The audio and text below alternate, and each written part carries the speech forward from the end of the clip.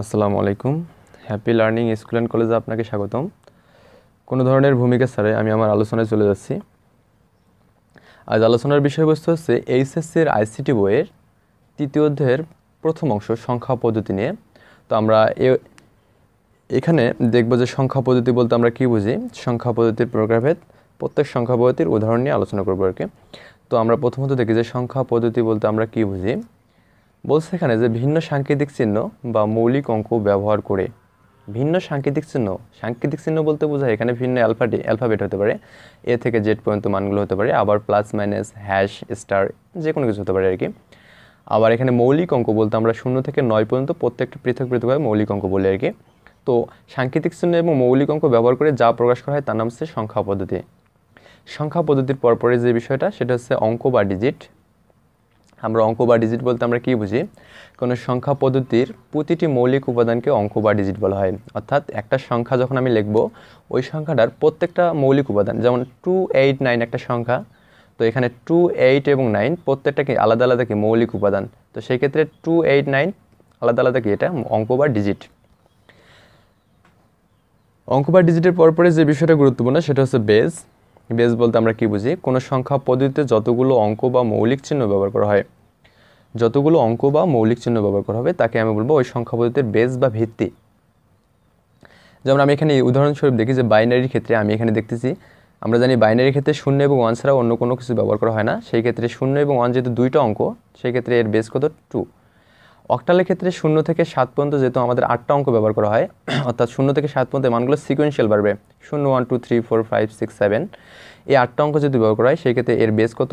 Eight দশমিক সংখ্যা পদ্ধতির ক্ষেত্রে শূন্য থেকে নয় পর্যন্ত এই দশটা অঙ্ক সিকোয়েন্সিয়াল বাড়বে যেহেতু শূন্য থেকে নয় পর্যন্ত দশটা অঙ্ক সেই ক্ষেত্রে আমাদের এখানে এর বেস হচ্ছে কত? টেন হেক্সাডেসিমেলের ক্ষেত্রে শূন্য থেকে এফ পর্যন্ত, অর্থাৎ আমাদের এখানে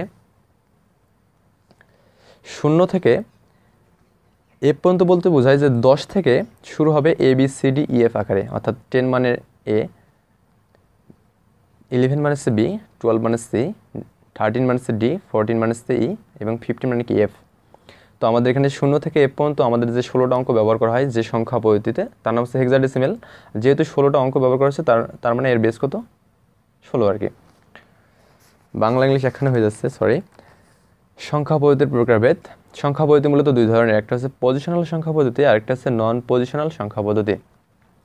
পজিশনাল সংখ্যা পদ্ধতি, যে সংখ্যা পদ্ধতিতে স্থানীয় মান বেজ বা ভিত্তি থাকে। অর্থাৎ যে সংখ্যা পদ্ধতি স্থানীয় মান এবং বেজ দ্বারা তৈরি আর কি, যেমন আমরা এখানে স্থানীয় মান বলতে বুঝি যে একক স্থানীয় মান, দশক স্থানীয় মান এবং শতক স্থানীয় মান। বেজ বা ভিত্তি বিষয়ে আমি একটু আগে আলোচনা করলাম, তার মানে বেজ বা ভিত্তি এবং স্থানীয় মান যেখানে থাকবে তার নাম হচ্ছে পজিশনাল সংখ্যা পদ্ধতি। নন পজিশনাল সংখ্যা পদ্ধতি, যাদের স্থানীয় মান বেস বা ভিত্তি থাকবে না, তাদেরকে বলা হয় কি? নন পজিশনাল এখানে একটা কন্ডিশন আছে, শুধুমাত্র নিজস্ব মান থাকবে, যেমন রোমান সংখ্যা। One two three four five six seven eight এগুলো হচ্ছে একটা নিজস্ব মান আছে আর কি। তো এই কারণে এদেরকে বলা হয়েছে নন পজিশনাল সংখ্যা আইসিডি মূলত পজিশনাল সংখ্যা পদ্ধতির উপর ভিত্তি করেই তৈরি করা হয়েছে আর কি।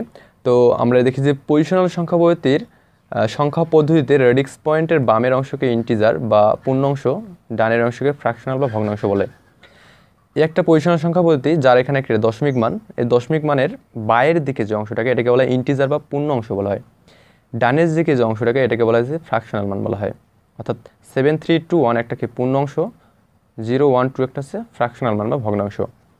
পজিশনাল সংখ্যা পদ্ধতির প্রকারভেদ পজিশনাল সংখ্যা পদ্ধতি মূলত চার ধরনের, একটা হচ্ছে বাইনারি অক্টাল দশমিক, আর হচ্ছে কি হেক্সা দশ হেক্সাডেসিমেল সংখ্যা পদ্ধতি।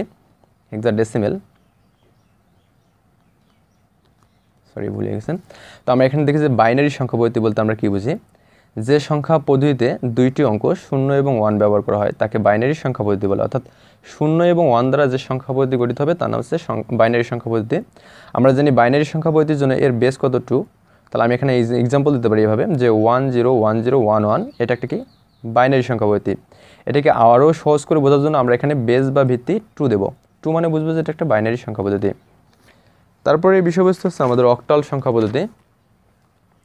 যে সংখ্যা পদ্ধতিতে শূন্য থেকে আট সাত পর্যন্ত এই আটটি অঙ্ক ব্যবহার করা হয়, তার নাম হচ্ছে অক্টাল সংখ্যা পদ্ধতি। অর্থাৎ শূন্য থেকে সাত পর্যন্ত আটটা অঙ্ক ব্যবহার করা হবে যে সংখ্যা পদ্ধতি, সংখ্যা পদ্ধতিতে। তো আমরা জানি যে অক্টালের জন্য এর বেস কত? এইট এখানে আমরা একটা এক্সাম্পল দেখি যে সেভেন টু থ্রি ওয়ান এই যে আমাদের যে চারটা এখানে অঙ্ক আছে, এই চারটা প্রত্যেকটা অঙ্কই কিন্তু শূন্য থেকে সাতের মধ্যেই। আর আমরা এখানে বেস বা ভিত্তি দেখে বুঝব যে একটা অক্টাল সংখ্যা পদ্ধতি। তারপর হচ্ছে দশমিক সংখ্যা পদ্ধতি, যে সংখ্যা পদ্ধতিতে শূন্য থেকে নয় পর্যন্ত দশটি অঙ্ক ব্যবহার করা হয়। কি বলছে? শূন্য থেকে নয় পর্যন্ত দশটা অঙ্ক ব্যবহার করা হয়, তার নাম হচ্ছে দশমিক সংখ্যা পদ্ধতি। আর আমরা জানি দশমিক সংখ্যা পদ্ধতির জন্য বেস কত বা টেন আমি একটা এক্সাম্পল দেখি এখানে যে eight sorry nine eight seven three একটা দশমিক সংখ্যা পদ্ধতি, যার এখানে বেস বা ভিত্তি টেন থেকে বুঝতেছি এটা একটাকে দশমিক সংখ্যা পদ্ধতি। আরও সহজভাবে হেক্সাডেসিমেল সংখ্যা পদ্ধতি, যে সংখ্যা পদ্ধতিতে শূন্য থেকে এফ পর্যন্ত, অর্থাৎ পনেরো পর্যন্ত এই ষোলোটা অঙ্ক ব্যবহার করা হয়, তাকে বলা হয় কি? হেক্সাডেসিমেল সংখ্যা পদ্ধতি বলা হয়।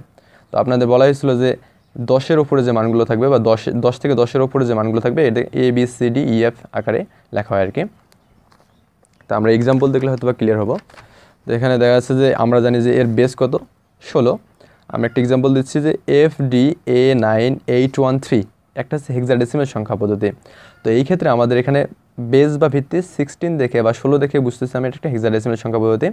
এখানে কিন্তু যে মানগুলো আছে, শূন্য থেকে A B C D E F এই রেঞ্জের মধ্যে সবগুলো মানে আছে।